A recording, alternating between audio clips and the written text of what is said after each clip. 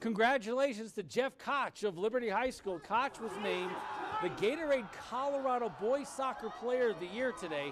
He led Liberty to an undefeated record this spring. He'll play soccer next year at SMU. More impressively, he carried a 3.5 GPA and was involved in several charities.